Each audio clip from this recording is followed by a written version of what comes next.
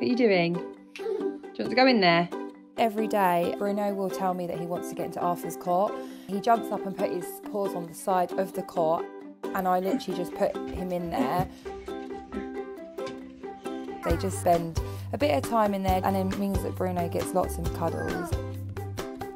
I always make sure that Arthur is safe with Bruno as well. I am there for 100% of the time.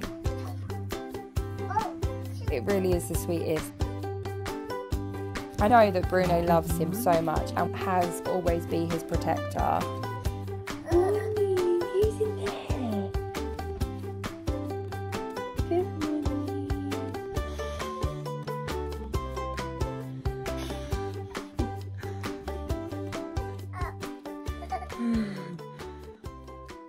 In the last year.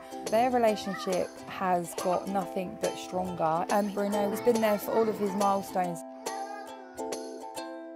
He was there when he sang Bruno's name for the first time. We had him in the trike, and Bruno was trying to get the stick out of Arthur's hand.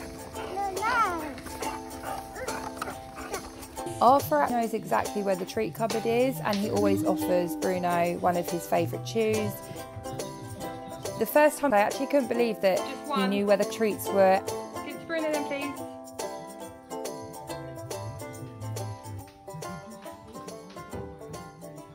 Good boy.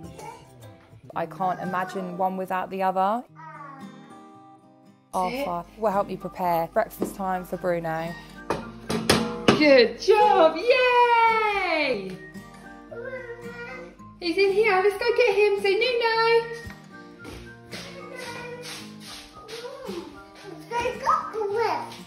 Say Nuno. If we go out without the dog and we return home, the first thing he does will be like hug Bruno.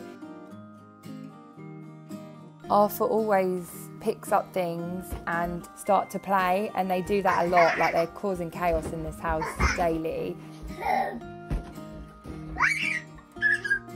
Bruno is so gentle. You can see Bruno knows to be careful. I just know that they are both grateful for each other and that they literally love each other so much.